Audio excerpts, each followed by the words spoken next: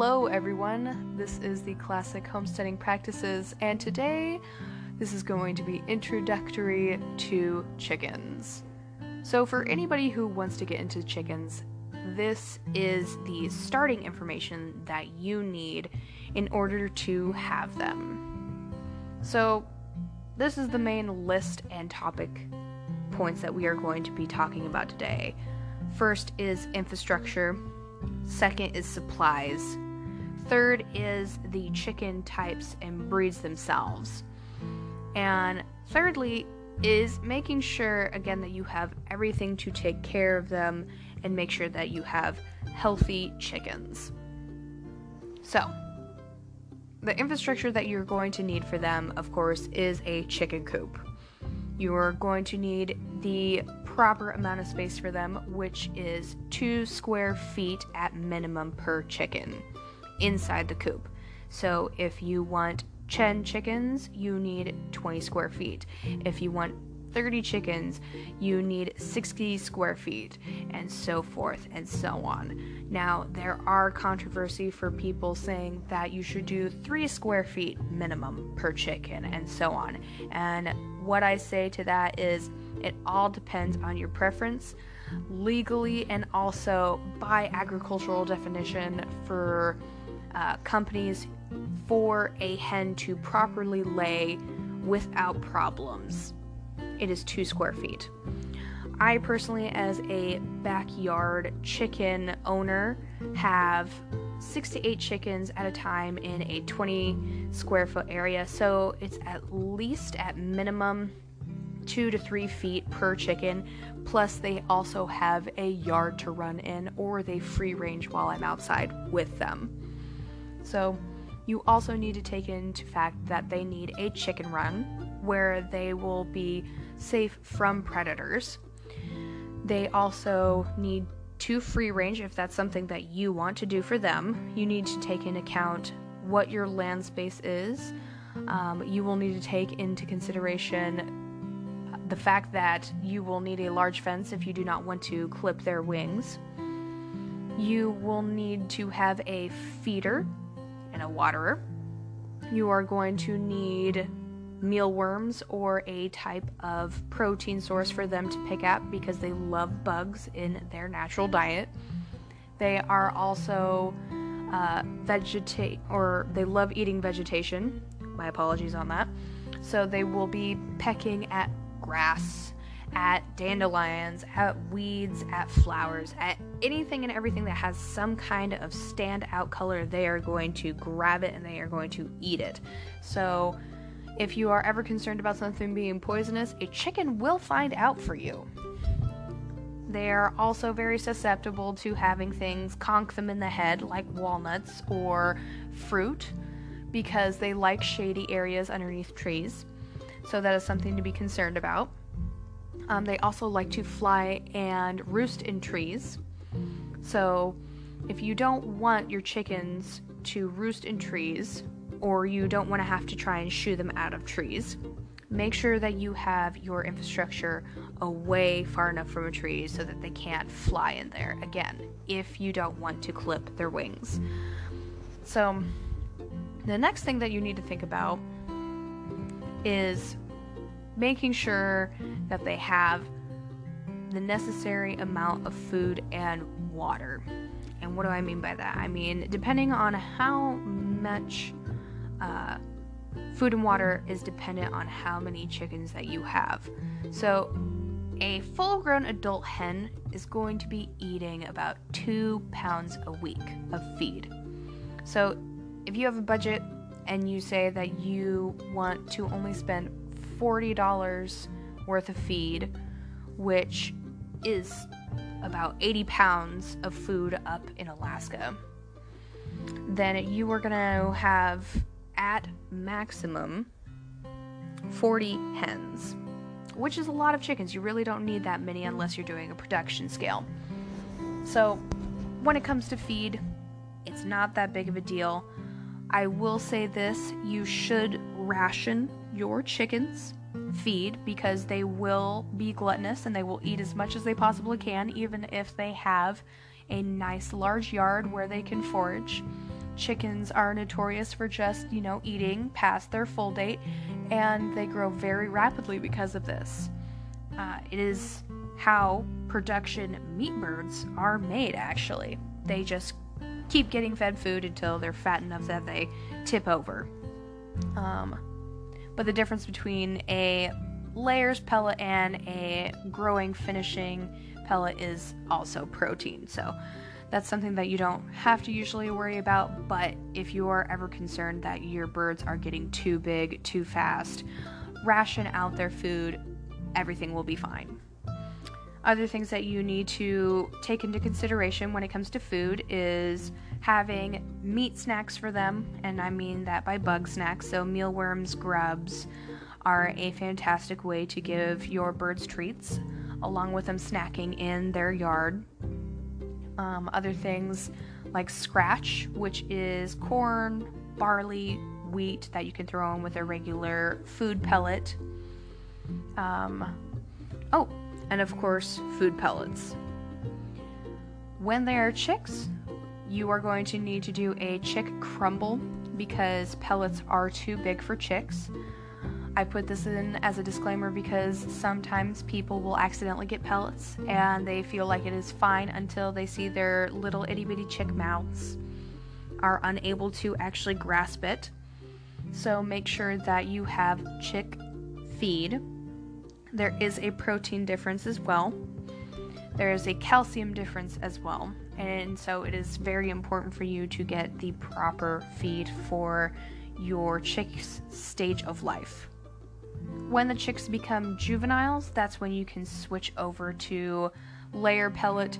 Usually, you can go all the way until they start laying, which is about four to six months. That's when you switch them over to the layer pellet, which again has a boosted calcium, um, which has a higher protein by about 2% and is just a overall larger food for the chickens to peck at. And it's a lot less messy compared to a crumble feed. Other things that you need to also include in their diet now because they have started to lay eggs is giving them oyster shell or a calcium supplement of some sort because if you don't do that, they will be unable to properly make a shell. And what happens is your bird is going to either produce a soft shell, which means that when it comes out, it's very spongy, it'll tear, it's not fully formed, crackable shell. Or there won't be a shell at all, and you'll just have a wet pile of yolk and clear mess in your uh, in your laying beds. So, that is a very important thing that you need to remember to have for your hens to have access to all the time. And also, the last thing that you need to remember to have is grit. Grit is stones that chicks use all the way up to hens for grinding their food because chickens do not have teeth. So, when you get your chicks from the pet store or from your local hatchery, make sure that when you bring them home that you have grit for them so they can properly digest their food. All right. So, you have the infrastructure, you have all the food and water that they need. You have the oyster shell, you have the grit, and now you need to pick out your chickens. So you go to your hatchery, you look at all the chicks. It's a wonderful sight. You see all these little fluffy things. What are you going to choose? How are you going to choose it? It's the hardest thing and yet the easiest thing to choose out because they all and the only thing that I can really recommend to you in this moment is trying to figure out the types of chickens that would go good in your area. And the reason being is because there are heavy set chickens and there are light set chickens. And the heavy set chickens will do better in northern climates because they are built for northern climates. Their combs, which are the red skin on the top next to their beak will be shorter, so it is less likely to catch frostbite. They will have shorter wattles again for resistance again frostbite. They will be a rounder bodied chicken with a nice thick plumage, so if they ever accidentally get outside in a very cold weather, again, less frostbite. They are very resistant to the cold. These usually are brown egg layers, and they are fantastic dual birds. What I mean by that is that they are good for egg production and for meat production. Though, there is a catch when it does come to egg production. Brown egg layers tend to lay a little bit less depending on the type, unlike white egg layers. But the reason for this is is white egg layers are usually one lighter in weight, so they aren't the best meat birds. But they are fantastic for egg production. They will usually have one to two eggs laid a day. If you decide to lay year round, they will keep going all year round without missing a day. And they will produce for you until, well, until they expire. Which is a very nice way of saying until the end of their life. Now, you have all these different types of birds. You have the reason behind it. Now you need to figure out, huh, do I live in a hot place or do I live in a cold place? Do I need these birds for production or do I need them for meat? Or are they for fun and I just want to have a couple of chickens that lay beautiful eggs so they can be pets and fun? And that is the nice thing about having chickens is that they're so versatile in the way that you look at them that they're never just for one thing. So my recommendation for people who want production just for eggs mainly should get leghorns.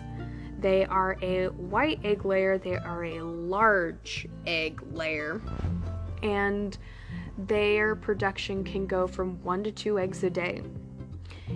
They will lay 350 plus eggs a year. And if you decide to again lay them year round, just make sure that they have a light inside of their house because chickens need 10 plus hours of light in order to lay eggs every day. The other one that I would recommend for production is um whew you got me on a roll and then I just immediately lost my train of thought don't you just love when that happens? So the other one is Rhode Island Reds. They again lay over 350 eggs a year. They can be a one to two egg layer a day. They are a brown egg layer, so they are heavier. They are a great dual purpose bird. They were made specifically for that reason. They are good for mainly cold weather, but they also do really well in hot weather. So, for a person who lives all the way up in Canada, Alaska, all the way down in Arkansas, Arizona, Leghorns and Rhode Island Reds are really good ones to have. Cinnamon Queens are another one that work well, and Orpingtons. And the reason why I put Orpingtons in there because they're not necessarily the best egg layer. They are usually a 300 to 320 uh, eggs a year, but they are very docile, they're very loving, and they're very easy to deal with. So if you have a production area that you need eggs and you need meat, it is a lot easier to wrangle a chicken that is docile and is more willing to come to you than you chasing it around your yard. So, now that we've gotten the egg part under control, let's go over to a dual bird or a meat bird. I would go for Jersey Giants for meat because those birds can get up to 10 to 12 pounds depending if it's a rooster or a hen. They lay approximately 300 plus eggs a year. They are a brown egg layer. You also have Sussex, which are beautiful birds. They are a 7 to 8 pounder bird and they lay around 270 to 300 eggs a year. You have Marans, you have red stars and black stars. You have Americanas, which are actually a lovely bird because they are a blue egg layer. You have Australorps and then again Orpingtons. And the reasons why I specifically pick those ones out is because, again, they are really good dual purpose birds where they will give you at least 250 plus eggs a year, and also they will give you around 8 to 10 pounds of meat from a hen. You can even go farther up with a rooster if you want strictly meat production. So, you have your egg laying birds, you have your, your dual purpose birds, your meat birds. Now, let's talk about your pet birds. Now, this is definitely a place where I fall into because even though I'm a homesteader, I also love all of my animals. The thing about me personally is I am in love with all of the animals that come through my home if they are in my home, they are treated with the best of my abilities, so I know that I have good meat in my freezer. I have good eggs on my shelf. It is the reason I have a sustainable, independent home for myself. So I know that my food is ethically sourced through me. So I prefer to go ahead and have pet birds that do blue eggs, green eggs, chocolate, chocolate, deep brown eggs. And these birds are Americanas, they are olive eggers, they are Marans, in specific, cuckoo Maran. And the reason why I decided with those is because, again, they're specialty egg layers, but also they are dual purpose birds. I am also getting Sussex, which have a beautiful pink brown egg, but again, they are very heavy set girls. I am also in a northern climate, which makes this even better for me for the fact that these girls were made specifically for my area, and I know that they're going to do well even when it gets down to negative 10, 20, 30 degrees. So I have specifically picked my birds out for my area, for my needs. And that is what I'm asking you to do when you decide to go to the hatchery or you look in the catalog and you see what you want to get. So, now that you have all this information, what you need to do for infrastructure, what you need for supplies for them, what kind of birds that I've recommended to you, the last thing that I have to say is just making sure whether or not you want to keep your birds egg laying, producing year round versus letting them molt and having a regular life cycle. Now, being able to have a year round production, you are going to need a light for at least 10 plus hours a day, and you need to make sure that it is warm enough for your chickens to produce because if it is too cold for them, they will not lay. You also need to take into consideration that the life cycle of your chicken will drastically shorten because there is more likely uh, complications and problems that will arise because your chickens are going to be producing more often. And this just means that you need to be okay with morbidity. You need to be okay with surprise chicken deaths through abscess eggs, infections, uh, improper vent problems that arise on the chicken's back end, and sometimes compact that you're going to see. Um, so, when you decide that you're going to do this, just keep in mind that you are going to have to deal with chicken morbidity. And the life expectancy of your chicken will go down to two to three years.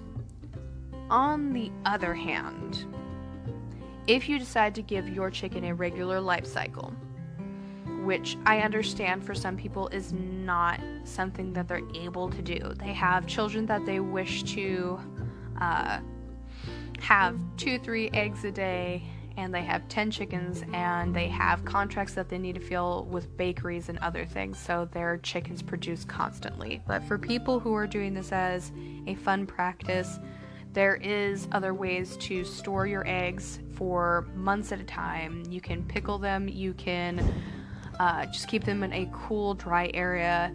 You're able to can them, and so forth.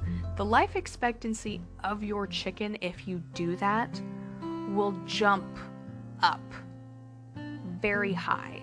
And what I mean by that is going from two to three years all the way up to eight plus years. You will be getting a lot more laying years out of these chickens, which means you will be taking care of these chickens for a long period of time. And this usually happens with people who have chickens who are pets. Now, the drawbacks of this is these hens are going to slowly stop laying eggs through a period of time. And this usually happens around five to eight years, where they go from laying five, six, seven eggs a, every week, all the way down to three or two. And that means that you just might have to make a stewed chicken later in their life, which again is totally fine. That is the part about farming and homesteading that that is a very hard thing for people to take into consideration is you are going to have to be their provider their lifeline and also their line to their next phase in life, in their ending of life. And we will talk about the humane way to take care of it. It is not hard to take care of it. It is something that you morally and ethically have to get into. And in all honesty, um, there are people who are unable to do it, and that is totally fine. We do not judge you for not being able to do that. But for now, getting back on track, again, the life expectancy of your hen will skyrocket because chickens who are allowed to lay properly and in the means of their life cycle can last 10 to 12 years if they are allowed to stop laying altogether and they are true pets, they can last all the way to 15, even 20 years. And that is just the regular life cycle of a domesticated chicken. So, with all of this information laid out at your feet, you now understand that you need infrastructure, you need the supplies, you need the means of heating and insulating a coop. And then at the very, very end of all of this, when you are supported and ready to go, that is when you need to get your chickens. Because the easiest part about all of homesteading is acquiring the animals. That is the cheapest and the easiest way. The hardest part is getting everything set up for them to be there and to sustainably live with them. Alright, guys. I hope this information was good for you. I enjoyed talking with you, and I will see you on the next episode of Classic Homesteading Practice. Have a wonderful day. Goodbye.